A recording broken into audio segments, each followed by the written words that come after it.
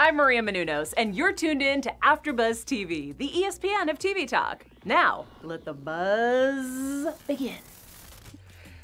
What's going on, everybody? How's everybody doing? Happy almost Valentine's Yes. Day.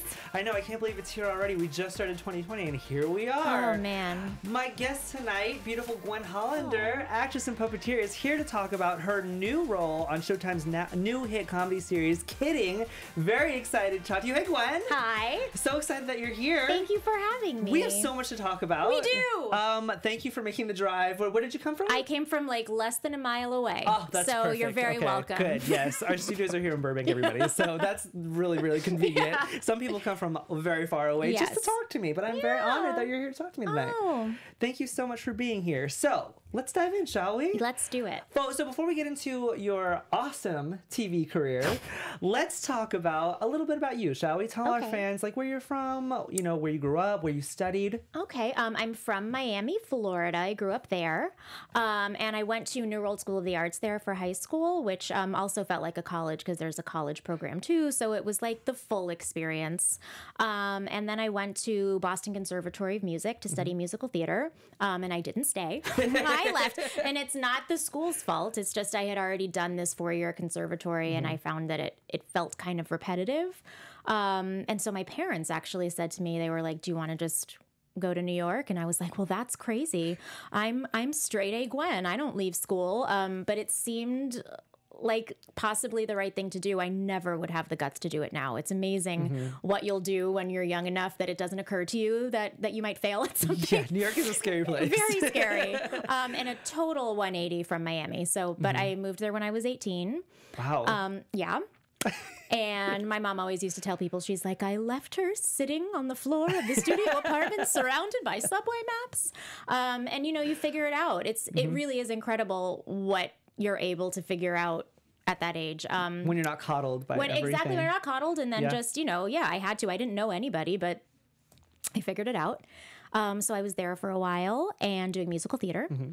and then uh, my husband and i came out here about five years ago i want to say and we've been giving this a try and, and i love it here i mean i'm a miami girl so this the weather is this agrees with me Yes. yeah i like it Well, your skin looks fabulous tonight, so I can thank tell. you. Um, so you pretty much got into acting at a very early age. Yes. Did you always know that you wanted to be an actress, and why? Um, so I was always I was a I was a silly kid. Um, and I was I, I, when I was little, I actually wanted to be a music therapist, which is so random. But I played piano and I and I danced and everything. Um, and I knew I wanted to be an actor. I was 13 and we went on a school field trip to see the touring production of Phantom of the Opera. That's my favorite musical, by the I lost my mind. Yeah. I lost my mind. And it's some people are some people there's like judgment about that Mm-hmm. being my favorite musical and I don't care. It's your favorite musical too, then. Yeah, I mean it's because Why do people judge us? I don't know. there's like an Andrew Lloyd Webber thing. I feel like, and I'm but and I'm, you know because there's a cats Yes. situation and like I get it, but I just was so blown away. I had never been moved the way I was when I saw that show, and I couldn't even really describe the feelings I Mm-hmm. had. And so that was the day I was like, I'm doing this.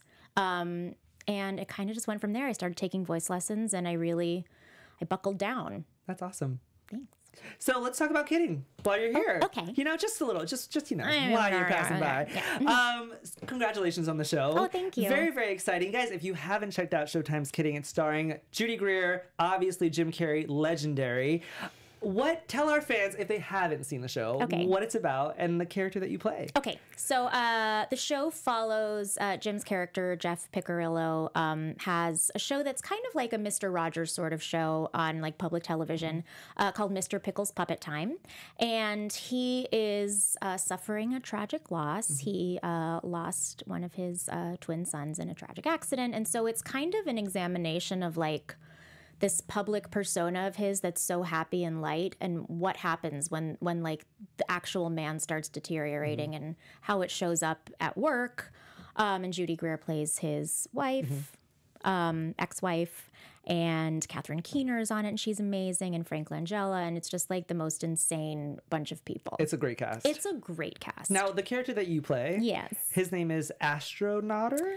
Yeah, her name. Her name. That's sorry. no. Oh, I don't know. be. No, I don't did be. it. I'm sorry. No, don't be sorry. You guys because will it's- find out in a second No, no, I'm it's actually apologizing. it's a plot point. So yeah, everybody thinks that it's Yeah. Mm-hmm. that it's a boy otter. Um, so yeah, I play uh, Sheryl, who is one of the puppeteers on the show within the show, Mm-hmm. and I puppeteer um, Astronotter, who is an astronaut otter. Um, who we find out is female. Yes, yes, yes. She is trans. She is She- transgender. I suppose she is. yeah, that's yeah. A, that's a really interesting take on puppets. Yep, it, it is. I mean, that's a really now. Let's talk about that specifically. Okay. Was it hard breaking down a specific character like this? I mean, it's a pu- a transgender puppet on a show. yeah. How was that? How were you prepared? I mean, we don't really get into it um, in terms of the performance of the puppet because it's just literally a huge suit and like the voice is the voice. Right. Um, but yeah, I mean, in terms of my preparation for the character, um, it was just figuring out what that voice was and then mm-hmm. figuring out how to maneuver in that suit, which is something I've never done before because I have done some puppetry, but it was hand puppetry and I've mm-hmm. never really done this full body thing. And the people that do that usually are like stunt performers or gymnasts or people that are very physically mm-hmm. capable of doing stuff like that. And I was just like, um, okay, I'm huge. yeah, I'm huge. Guys, if you haven't met Gwen, she's very, very little. Yeah. Um, that's must be really fascinating. It really is. It must be a different experience. It's a very different experience. It's been quite the education. And like, I feel like every time I put the suit on, I, I learned something new. That's good. well. I'm gonna get into that in a second. Yeah, Uh, my first question being: Do you think it's harder being a puppet on camera or being yourself on camera? Oh, well, so the puppetry stuff is just so technical, um, at least for the hand puppet people who are these puppeteers on this show are brilliant. Like, they are masters of what they do. They're like Jim Henson puppeteers, they're amazing.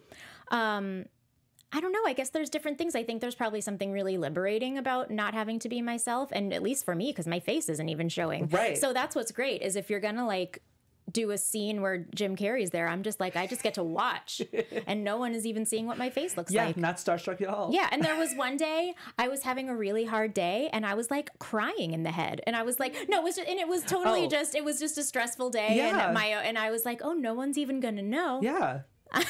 the benefits of being a puppet That's the thing. There was there were a lot of benefits in that way. That's a good way to look at it, though. Oh, yeah. Always look at the positives. Yeah, for sure. Even though you cry inside your I seat. cry, but it's but you know what? I cry a lot. Hey, no I am worries. emotional. I I think that emotional empaths are very special to the world. Yeah. Yeah. Yeah. Um, does the show you playing a transgender puppet? Mm-hmm. Does the show hit on a deeper level when it comes to trans issues, or is it not there yet? I think this was just kind of a this was a moment because the show is talk the show is talking about some bigger themes um, and some darker stuff. This was just kind of one moment I think that showed this char- uh, Jeff Jim's character Jeff Piccirillo take like wanting to make things a little bit more serious on the show. Got it. But yeah, I don't they didn't really dwell too much on the trans thing. Okay. Um, it's just a very fascinating aspect. It really is. Yeah. It really is. and the fact that you get to play Yeah. such a great character. It's crazy. It's kind of amazing. It's it's cool. It's really cool. It's really cool. Guys, if you want to check out Kidding, it's on Showtime. Season 2 just premiered February 9th, 2020, which I still can't believe it is 2020. I can't. I can't. now, before we move on, take me back to the audition for Kidding. What Okay. was that like? Interesting. I mean, this sure. is such. This project is so unique in so many ways. And so when I first auditioned, it was for another role. Hmm. Um, and I came in. They had us. They gave us the lyrics to a song that ended up being in the show, but they didn't give us a tune. So they were like, just make up any tune. And I was like, mm, okay. You're And- musical theater, you got this. Yeah, so so I ended up like kind of picking a, a song from Sesame Street and laying that tune onto it. Clever. Um, oh, thank you. I was just like, I don't know. And, you know, you get it the day before and you got to figure it out. And Mm-hmm. then so I went in with a puppet. We have a couple puppets at home because we're those people. Not creepy at all. Um, Not creepy at all because my husband is a puppeteer as well. That's so cool. Yeah. That's really cool. It's very cool. Um, so yeah, so I went in and I did the scenes and I did the song with the puppet, and then they had me come back for this role for the Astronotter thing, and then I had to come back again. And when I came back the last time, I brought a puppet, and they gave me, they gave all of us, all of us puppeteer type people, a bunch of characters to choose from, and we had to prepare.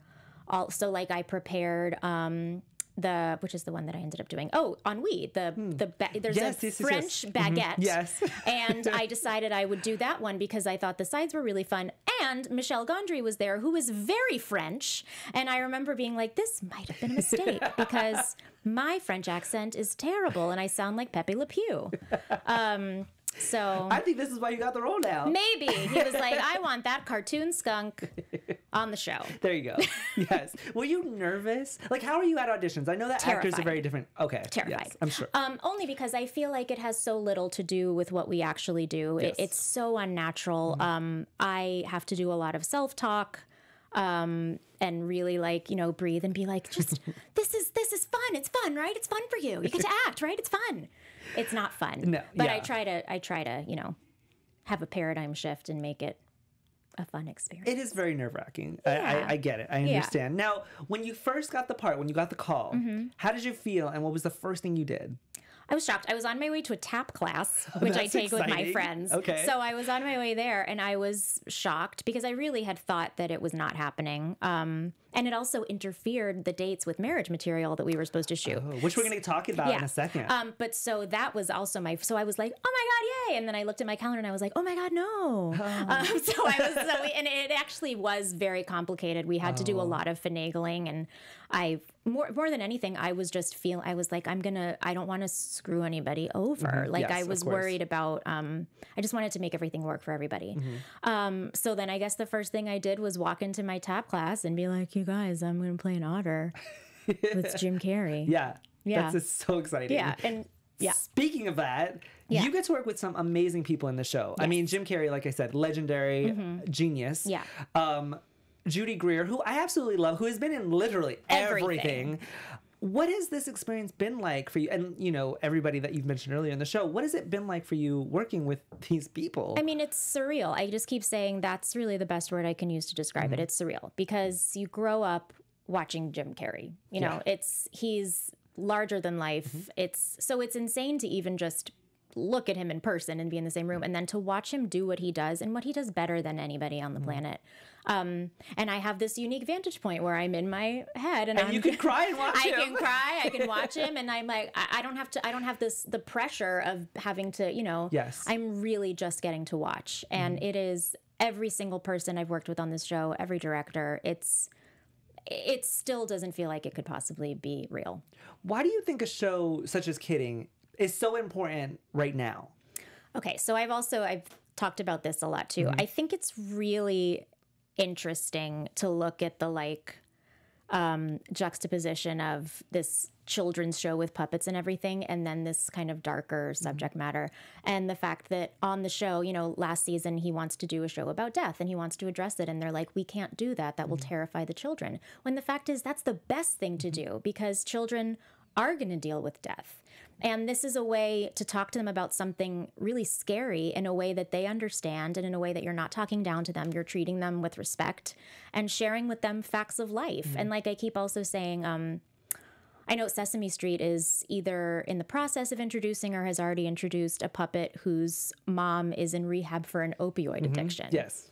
And they have a, I know they have a puppet with autism. And like, that's amazing. Mm-hmm. Yeah. Because those kids are going through those things. So Yes. rather than letting them feel alone, and same thing with this transgender thing, like if there is a kid who's experiencing like gender dysphoria Mm-hmm. or something and they don't know what it is, they just know they feel scared and, different. and different and wrong. And if Mm-hmm. they see something like that, then that gives them a name for whatever feelings they're having and makes them feel a little less alone. So Mm. I think that's incredible. And I think it's a really interesting thing to look at. No, I love that. Like you topped on uh, said on the top of the show, you know, when your mom dropped you off in New York, it's Yeah. like this this it's not a coddling thing. It's Yeah. like, you know, just these kids need to learn a lot of these aspects of life because this is what life is going to hand Yeah, and they're so much more resilient, I think, than people think. Kids can actually process this stuff and move forward much more easily than we can, I think. I agree. I agree. Um, on a lighter note, Yeah. when the show isn't filming, like when Mm-hmm. the cameras aren't on, you guys are puppets. Jim Carrey's there. Yeah. What is it like? It must be a blast. It's hilarious because the, also the, the great thing about all these puppeteers, they're also amazing. They're very good actors. They're amazing improvisers. So you've got the puppets improvising with each other. You know, there's like a peanut butter and jelly sandwich that I think we met. So there's like PB and J. They're improvising with each other. Catherine Keener's there improvising with them and talking to the puppets. Yeah. Like not even necessary because you do start to forget that there's a person there. You're like, oh, this is a jelly sandwich that I'm talking to. um, it's amazing. And yeah, Yeah. so between it's just it's a lot of laughs. yeah. Yeah. No. Okay. Now shifting a little bit. Okay. Um, because not only have you done TV, you're also in film. You've made a name for yourself with the lead role in the musical comedy short Marriage Material. I want to hear all about this because Okay. you have a background in musical theater. Yes, yes. So obviously that helped you in this role. Yeah. Now, what is the show about? The character that you play? So I play uh, a woman named Leah, and it's about. Uh, so Leah has been very unlucky in love and has had a lot of failed relationships. And at the top of the film, she um, is proposing to her boyfriend in a rather unorthodox fashion. Not here in Los Angeles, apparently. Yeah, I guess not. um, but he says no, and that's kind of the last straw for her. So she checks into uh, a school that's like an academy for. They call it Jente Feldman's uh, Retreat for the Late Blooming Bride. So it's a place where um, women go that are unlucky in love to learn to be marriage material. You know, to learn to iron Oh, stop. and care for the men and how to be a good spouse. So it's a very dark comedy. Um, it's a, like that there's like a Stepford wifey kind Mm-hmm. Yes. of quality. Um, so yeah, now, the most that. important question that I have, Gwen, Sure. is do you know how to iron? No. Oh, God, terrible No. I mean I know how to like do. No, I'm the worst. I know how to like do that, but. I don't know how to like arrange the thing so that I can get to all the wrinkles. no, neither do I. So, I mean, yeah, but you're a woman, so you should know how You're to right. do I should get on it. Oh gosh, failure. Yeah. Now you are married. I am. Because you, said that your husband was also a puppeteer. Yes. Now, in terms of this film, if you had proposed to your husband and he said no, Uh-huh. on a deeper level, do you think that couples could work through something like that? It depends. I guess it would depend on what the no was about. If the Hmm. no was about like I don't want to be with a woman who would who would, you know, dare to propose to me because that gender role is too strong for me or if it's like they said no because they're like I just don't want to be married to you. So I guess it would depend. Right. Um although either way those would both be bad. Yes, either one of those things I'd Yes. be like, "All right, well, I'm going to take my leave. Uh thank you." And you're going to go to your women's camp. yeah, I'm going to go to my camp. Yeah. Now, this film is doing very well. Yeah. It's won several awards. Yeah. What, what awards has it won? So we were just at the Florida Comedy Film Festival and we won like the best of the whole festival. Um, the grand prize. Thank you. And best director and best actress and best cinematographer. Look at you. It's like a Um, mini yeah. Oscars. It was, and it was on Oscar night. So I was like, basically, but you were at the Oscars. these are, these are You were at the Oscars at the. Marriott in Boca Raton. Yes, you technically won an Oscar. I, I did. I'm just Yeah. going to say that. Just That's going. that. Yeah, that's what I'm going to say. Um, thank you. You're welcome. Congratulations. Oh, thank you so much. thank you. Um, and yeah, we won uh, some. There, we've been in a bunch of festivals this year, so it's won a bunch of things. And we were because this was a student film from AFI. Wow. And we so we were a finalist for the Student Academy Awards. It's uh, unbe- this just is not what any of us were expecting. You never know what you get, what you, what the final outcome is going to be when you when you take a project like this. No idea. And it's like I said, congratulations for Thank doing so well. Thank you. You guys, if you want to check out Marriage Material, it is on Fox Searchlight Shorts now. You could literally watch it like right you now. You could watch it right now. which is very exciting. It's a 25 minute film. yeah, 25 minutes. Um, so guys, check it out if you're a musical theater nerd, or if you just like singing and want to see somebody get declined in a marriage proposal. Ah, check that out. yeah. Um, now we are a little short on time, but I do want to get into your musical theater experience. Okay. Uh, very very quickly. Sure. So you said you got into it at the age of 14. Mm-hmm. What have been some of your favorite roles that you've played? My favorite roles have been uh, Eponine and Les Mis. Favorite. Mm-hmm. I love that show. Uh, love it. Belle and Beauty and the Beast, which Oh. I've gotten to do twice. Congratulations. Thank you. So much fun. Um, and I love, I don't know if you know, do you know the show Urinetown? I do know the show. Yeah. It would remind me of you know, like the puppet that you're doing in kind of like kidding. Oh yeah, I mean it definitely it, like it has. puppeteer material. Uh, yeah, well, in Avenue Q too. I also Avenue did Q, Avenue yes. Q, um, which I also love. Yes. Mm-hmm. Avenue Q and Urinetown. I played Hope and Urinetown and Kate Monster in Avenue Q, and That's so those would probably be some of my favorites. I Do you have any dream roles that you that are on your mind for theater? Yeah, in the atmosphere right now. That's the thing is like I one of the reasons I felt okay leaving New York is that Belle and Eponine were like two of the big ones, and I was like, oh, I did them. Yeah. there are still some. I would love to play the baker's wife and Into the Woods. yes, that's a good one. Um, yeah, so there's a few floating around out there, but I feel really lucky that I kind of did the ones that I wanted to do when I was a child. yeah. Um, but yeah, I love musical theater. I, I miss it, and Mm-hmm. I would still like to do it. And obviously, all of this musical theater experience, you know, Avenue Q, Urinetown, Yeah, has- it's all kind of coming into play. exactly, has definitely propelled you and accelerated your career because look at where you are now. Uh, very strange. It's- You never. yeah. It was not. Again, you don't know what to expect. Exactly. Always full. It's coming for full circle though I for you. it is. That's actually that's great. Yeah. That's really great. Now. I do want to touch on your writing very quick because you are a very talented person. You're a very lovely person, by the way. Thank you. Um, you've written several shorts. Yeah. How has writing been for you? Do you still write, and do you think that it helps you in your craft of acting? Yeah, I do think it helps. Um, I do still write. I get. Um, I love to collaborate. So when I when I'm in a situation where I'm like, oh, I have to write something by myself, I tend to psych myself out a little bit. But I love to write, and I mostly write sketch for the most part. I would say because that's what I I grew up watching SNL like from a very young age, probably too young of an age, honestly. um, but I love sketch comedy, and I think it's just such a fun way to like get in, get some laughs, and get out. Yeah. You know. Um, but yeah, I am still writing, and, and I definitely think it helps because I also, if I'm writing, I'm probably writing for myself. Yeah. Um, I'm probably writing so that I can do something. So yeah, it's definitely helped me, you know, develop my sensibility and figure out what I want to do and what I think is funny. Yeah. So yeah, I think it all ties together. Yeah. When you wake up in the morning, Yeah. what inspires you?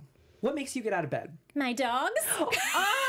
You have dogs? I mean, I have two dogs. I mean, they literally make me get out of bed. I mean, I'm sure. So I'm sure your husband does too to iron. Yes, Remember? they get to, I have to. I will have to learn to iron, um, and uh, they literally get me out of bed. But also, they are mm, my babies. Oh. Yeah, If you weren't acting, what would you be doing? I think I'd be doing something with animals. That's amazing. Yeah, I don't know what it would be because I'd have to go get a bunch of other, you know, degrees. Yeah. but I thought like a, a, a- like how to be a marine biologist or something. That would be amazing. Wow. I mean, that I would take a lot of extra schooling. Yes, of I'd have to go back to school Yes. forever. And you'd have to learn how to swim, I, I assume. yeah, Um, Maybe? yeah, probably. I guess that's part of it. Just a little bit. yeah. Uh, Gwen, this has been awesome. this has been you. awesome. Now, tell our fans like what you have coming up and where they can find you. Um. So, uh, kidding, of course. Yes, of um, course. And Future Man, I did. Uh, I had done an episode of the show Future Man on Hulu a few uh, years ago, and then I just did a second episode. So that um will come out whenever they drop that. It'll Of be course. sometime this year. We never know. We never know. um, and oh my gosh. Oh, and also my husband and I, pr- uh, with a couple of other friends, produce a show at Rockwell Table and Stage called the I Ast- love yeah the oh, yeah, I've done a lot of shows there. Oh, wow. Um, called the Astonishing Show Show. It's magic and puppets. okay, of course it is. Um, it's weird and wonderful. that sounds amazing. And we have our next show on March 8th, but we do it every couple months at Rockwell. So uh, I post about it on Instagram. So um, do you want me to say that stuff? Yes, Like, please. Tell us- tell All our fans where they can keep up with you. My Instagram is Gwenstagram811. That's clever. Thank you.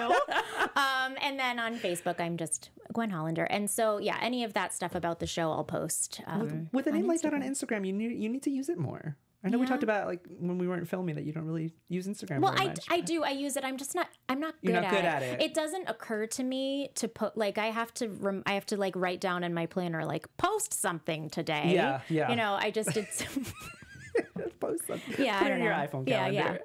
Yeah. That's exciting. That's so exciting. Yeah. Gwen, thank you so much for taking the time to talk to me you. today. Uh, Thank this you for is having me. A blast. You guys, if you want to see my new friend Gwen Hollander, you can check her out on Showtime on the new hit comedy series Kidding. Also, if you're here in Los Angeles, check out what was the name of the show? the astonishing show show. The Astonishing Show Show at Rockwell Table and Stage. Yeah. We'll see you guys next time. Happy Valentine's Day. Bye, guys. Bye. Our founder, Keven Undergaro, and me, Maria Menounos, would like to thank you for tuning in to AfterBuzz TV. Remember, we're not just the first, we're the biggest in the world, and we're the only destination for all your favorite TV shows. Whatever you crave, we've got it. So go to AfterBuzzTV.com and check out our lineup. Buzz you later. The views expressed herein are those of the hosts only and do not necessarily reflect the views of AfterBuzz TV or its owners or principals.